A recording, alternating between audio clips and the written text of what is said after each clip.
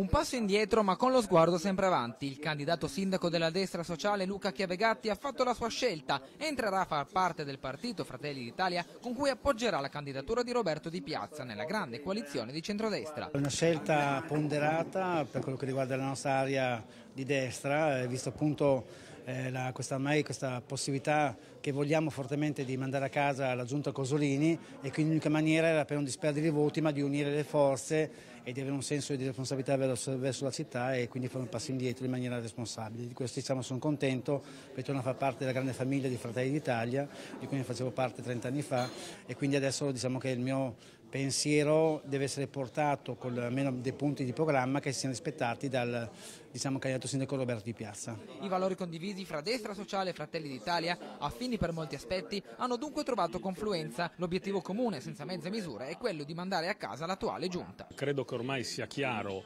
che in questo momento ci si può dividere solo tra chi intende confermare la fallimentare gestione del sindaco Cosolini e chi vuole ricostruire la città con il candidato sindaco di Piazza. Chiunque non voti per Di Piazza di fatto dà una mano a Cosolini. Accorciate dunque le distanze che vedevano Chiavegatti lontano dalla politica di Di Piazza. Sicuramente il fatto che lui aveva senso di appartenenza a NCD e questo qua, quello a me diciamo ovviamente è che è un, un organo che al momento appoggia il governo, questo mi è stato dato garanzie che invece è stato fatto anche da parte sua un passo indietro e quindi per dare un senso di responsabilità anche verso il mio elettorato ci deve essere una questione di coerenza e quindi un patto che sia chiaro verso quello che sia la cittadinanza di Trieste.